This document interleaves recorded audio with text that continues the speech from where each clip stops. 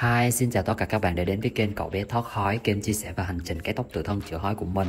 Trong video ngày hôm nay mình xin phép được chia sẻ về cái hình ảnh tóc cái của mình tròn được 8 tháng trong phiên cấy lần 1 2000 nan tóc. Ở trong video trước giai đoạn 6 tháng á, thì mình đã bắt đầu ngưng thuốc. Tức là mình chỉ uống được 6 tháng thôi và sau đó thì mình ngưng. Tuy nhiên thì mình thấy là không có ảnh hưởng gì cho cái vùng tóc cấy của mình hết nó vẫn phát triển lên đều bình thường ở giai đoạn 7 tháng 8 tháng. Nên mình chia sẻ là sau khi mà mình cấy tóc tự thân mình làm ở cái chỗ uy tín thành công á, thì kết quả của mình sẽ thành công thôi. Nó không phụ thuộc cho thuốc hay là mình cần phải duy trì thuốc gì lâu dài hết. Thuốc vitamin sau cấy tóc người ta kê cho mình nó cũng chỉ là bổ trợ để cho cái quá trình hoàn thiện tóc của mình nó trơn tru hơn thôi. Còn nếu như ví dụ mình không uống thì nó cũng không ảnh hưởng gì quá nhiều đến cái kết quả ở giai đoạn tròn 7 tháng hơn 8 tháng đó, thì tóc của mình phát triển rất là nhanh và rất là nhiều.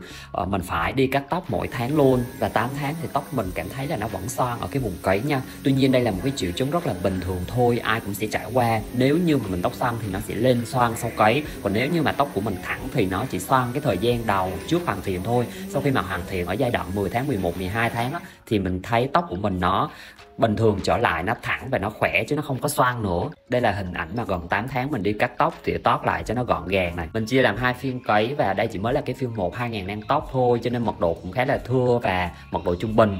Khi mà mình ra nắng hoặc là ánh sáng chiếu vào hoặc là tóc mình ướt á, thì sẽ thấy cái độ thưa nó rõ hơn chút xíu. Tuy nhiên thì khi mà tóc ướt thì ai cũng sẽ thấy da đầu nhiều thôi. Tuy nhiên tóc nào cũng vậy khi mà khô rồi á thì tóc của nó cảm giác là bồng bềnh và dày và nhiều hơn. Cho nên ở giai đoạn này mình cảm thấy là 2.000 nang thì chia hói rất là ổn và tốt. Mình cũng khá là bất ngờ với kết quả này.